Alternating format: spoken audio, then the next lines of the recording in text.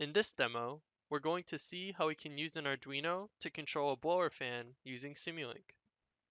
To show this control, we're going to make a ping pong ball levitate inside of a tube. Here's a short clip of the demo in action to give you an idea of what it does. In terms of software, we're going to need MATLAB, Simulink, and the Simulink support package for Arduino. In terms of hardware, we're going to need an Arduino Mega, a USB A to B cable, a blower fan, an infrared sensor, and all of the other supporting hardware components listed on this slide. Here's a picture of our fan and tube setup. As you can see, the IR sensor is at the top of the tube. The tube is made out of three 3D printed parts all connected together, and the blower fan is at the bottom of the tube.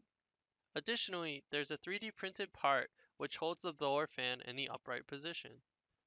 If you do not already have the Simulink support package for Arduino, you can get to it by going to Add-ons and clicking on Get Hardware Support Packages. Here's a circuit schematic for our fan setup. The positive terminal of the battery will go to the positive side of the blower, and the negative terminal of the battery will be connected to ground.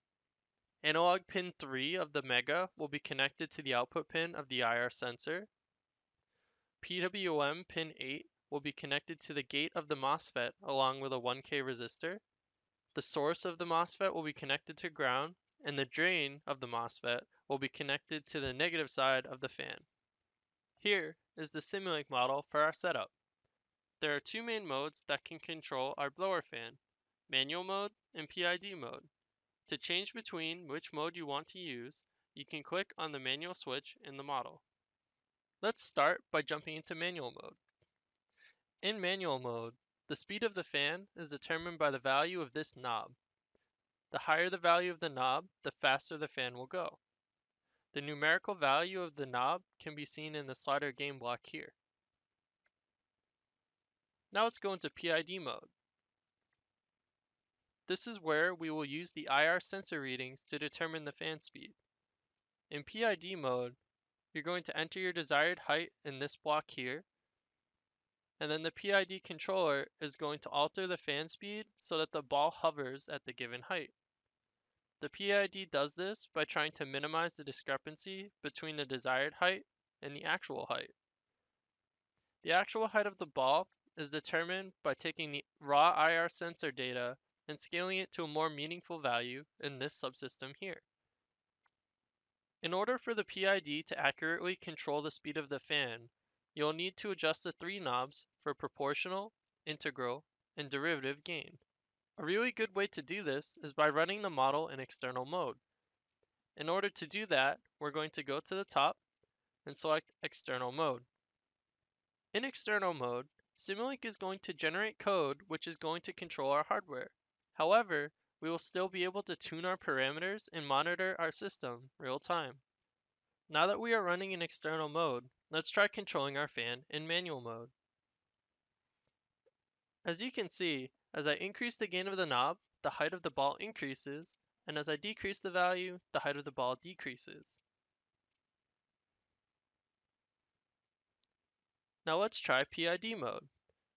We're going to set our desired height to be 15 centimeters, and we're going to start by increasing our proportional gain. If the proportional gain does not cause the ball to hover, a good thing to try is increasing the integral gain. As you can see, as we adjust our gain values, you see the actual height of the ball changing, both in Simulink and in the real world.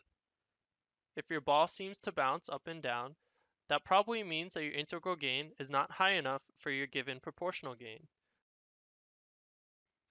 One thing to note is that the desired height that we entered is actually the distance of the ping pong ball from the infrared sensor. While in external mode, we could also change our desired height. Once you've tuned all of your parameters, you could deploy this demo to the Arduino by clicking on the Deploy to Hardware button. What this will do is it will generate code like it did in external mode. However, the main difference is that you will be able to run the demo without being connected to a computer. One thing to note is that with the model shown in this video, you cannot alter your desired height once you are deployed the hardware. You could easily change the model to take in an additional input from something like a potentiometer to address this. There you have it. This is how you can use the Simulink support package for Arduino to control a blower fan with a PID. Thanks for watching.